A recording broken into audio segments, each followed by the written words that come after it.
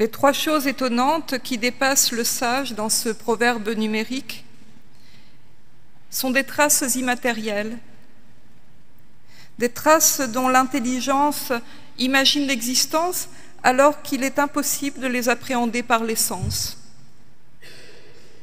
L'aigle passe dans le ciel et son chemin reste imprimé dans la mémoire. Mais la matière du ciel ne permet aucune empreinte de son passage. Le serpent glisse sur le rocher, mais bientôt son passage ne sera plus qu'un souvenir, peut-être effrayant, pour celui qui l'a vu passer. Et même le sillon ouvert dans la mer au passage du bateau se referme sans laisser aucun chemin derrière lui. Que dire alors de la trace de l'homme chez la jeune fille? Indélébile et pourtant invisible pour qui ignore son intimité. La profondeur de ce proverbe nous conduit aux confins de la mémoire, à la recherche des empreintes que le mouvement de la vie laisse, sans pourtant marquer de son empreinte quelque matière concrète. Quelles sont les traces que laissent nos vies dans ce monde.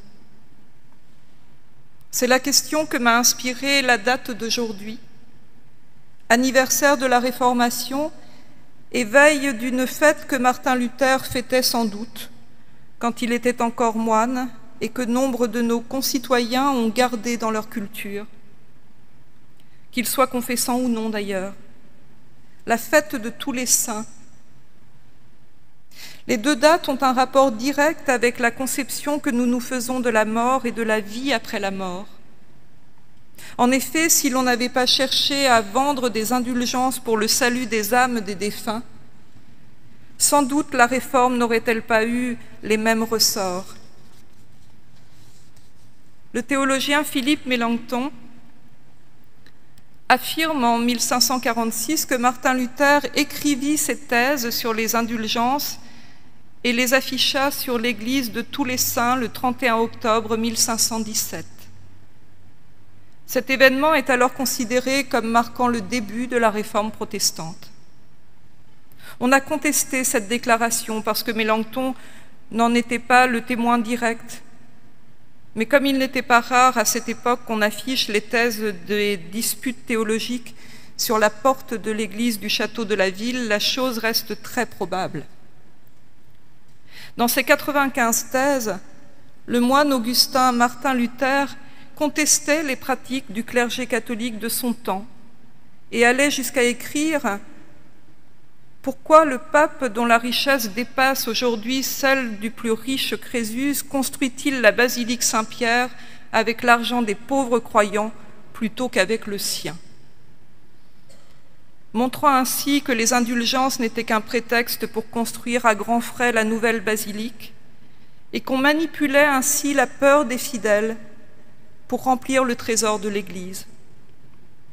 Placarder une telle contestation sur l'Église de tous les saints un 31 octobre retentissait comme un véritable blasphème à l'égard d'une Église qui se prévalait du salut des âmes et comme une déclaration de guerre à l'égard d'un clergé qui comptait bien garder le pouvoir sur les consciences, en prédisant enfer et damnation à qui ne paierait pas l'impôt sur le ciel. On peut se dire que ces choses-là ne sont plus de notre siècle et que la peur de l'après-mort n'est plus du tout le problème de nos églises surtout en régime protestant où la grâce permet d'affirmer la vie éternelle contre toutes sortes de morts. Bien qu'il reste encore quelques oiseaux de mauvais augure qui prêchent l'enfer et la damnation, même en régime protestant, substituant leur morale à l'Évangile, on peut considérer qu'en effet, la question de la mort a été déplacée dans nos théologies. D'un contexte de peur à celui d'une angoisse qui n'est pas la même chose, liée à une recherche de signification de la vie. La question de la trace laissée par nos existences devient alors centrale quand il s'agit de parler de la mort. Dans la Bible, Il y a beaucoup de façons pour dire ce que notre langue nomme trace. Il y a le tracé d'un dessin, tahar en hébreu, comme dans Ésaïe 44, où l'on décrit comment on crée un Dieu en bois ressemblant à un homme. Il y a le tracé de la gravure, cacave, comme en Ézéchiel 4, où le prophète reçoit l'ordre de graver la forme de la ville de Jérusalem dans l'argile d'une brique. Dans ces deux cas, la trace est préparatoire à l'œuvre, elle est prophétique, presque vocationnelle. Elle appelle un ouvrage derrière elle. Mais il y a aussi, dans le vocabulaire biblique, les traces qui trahissent les actions déjà commises, avec le terme akeb en hébreu ces traces visibles qui disent ce qui s'est passé, comme celles que le prophète Osée prend pour des indices de violence quand il déclare « Galaad est une cité de malfaiteurs pleine de traces de sang ». Ces traces-là sont visibles et inscrites dans la matière comme des preuves. Elles servent d'indices pour comprendre les faits. Et puis, il y a les traces qui disent l'absence en même temps que la présence ces empreintes de pas dans lesquelles on met ses propres pas. Iknos en grec, comme dans l'épître aux Romains où Paul parle au sens figuré de ceux qui marchent sur les traces de la foi qu'avait Abraham. Ces traces-là sont autant mémoire qu'avenir. Elles rappellent l'héritage et ouvrent un chemin. Il est encore des traces qui deviennent comme les mots d'une langue, sans pourtant être des signes, elles nous font signe. Comme ces cicatrices, stigmas, laissés par les clous du supplice dans la chair de Jésus. Stigmates dans la chair de Jésus, le crucifié et le ressuscité qui apparaît à ses disciples. Et Paul se l'approprie comme la justification de son œuvre quand il écrit Dès lors que personne ne me cause de tourment, car moi je porte en mon corps les stigmates, stigmas, de Jésus. Ces stigmates sont comme des signes d'appartenance à une lignée spirituelle qui passe par la mort, l'absence et l'anamnèse, la mémoire placée au présent de ce qu'un homme aura transmis de lui-même. Jean, dans son évangile, en fera autre chose, comme euh, des lettres du typographe qui imprime le texte sur le papier et le garde ainsi et garde la mémoire de la pensée. Au chapitre 20 de l'évangile de Jean, on peut lire en effet Thomas, celui qu'on appelle le jumeau, l'un des douze, n'était pas avec eux lorsque Jésus vint. Les autres disciples lui dirent donc Nous avons vu le Seigneur, mais lui leur dit Si je ne vois pas dans ses mains la marque tupone, c'est-à-dire type la marque des clous et la marque dans son côté, je ne le croirai jamais. Jean utilise ici le terme de type, empreinte signifiante, marque qui témoigne, telle une écriture, d'un salut donné contre toute mort, contre toute violence, contre tout péché. Ces traces qui rendent témoignage à l'homme Jésus, mort et pourtant éternellement vivant, ne sont-elles pas le salut lui-même? Ne pas disparaître, ne pas être oublié, effacé, nié, n'est-ce pas la compréhension moderne du salut donné par Dieu aux hommes? L'artiste Christian Boltanski a fait de cette angoisse de la disparition le centre de son œuvre. La mémoire prend chez lui la forme d'une accumulation d'objets, comme ces montagnes de vêtements de travail évoquant les ouvriers d'une mine aujourd'hui oubliée, ou bien ces boîtes métalliques empilées en stalagmites ou en murs, comme les tiroirs d'une salle d'archives où chaque histoire humaine aurait sa boîte ou encore ces voiles évanescents de son œuvre Menschlich, sur lesquels on distingue à peine le visage d'une personne décédée et dont la photo presque effacée nous place devant la disparition et le souvenir immatériel.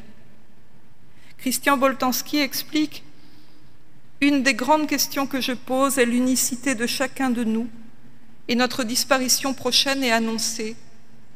Au bout de trois générations, on a totalement disparu. Dans Menslich, les gens n'ont déjà plus rien d'autre que cette sorte d'humanité qu'ils ont eue. Quinze ans après, ils sont pratiquement invisibles et volent dans l'espace.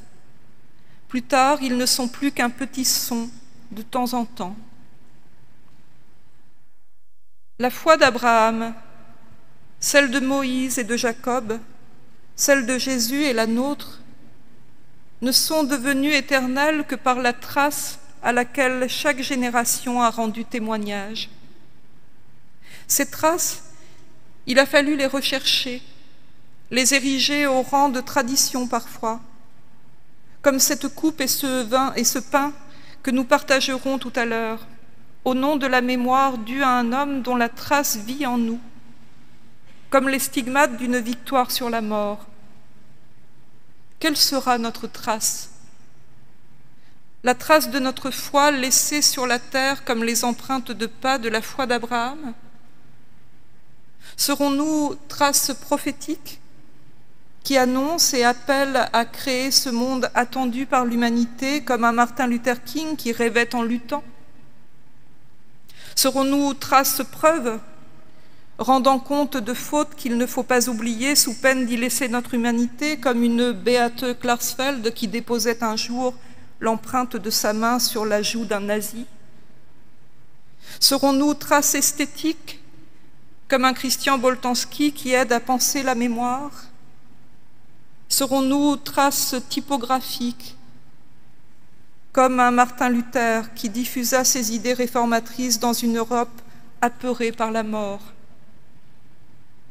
La vocation de notre vie, c'est cet appel à tracer un chemin sur cette terre, comme l'aigle dans le ciel, le serpent sur le rocher, comme le navire au cœur de la mer, comme le vestige de la trace d'un homme chez une jeune fille. Cette trace est immatérielle et pourtant elle dessine un chemin, une trajectoire, un temps qui aura été notre temps, un espace que nous aurons habité. À nous de dessiner notre trace et de faire de notre vie un témoignage et un objet de témoignage.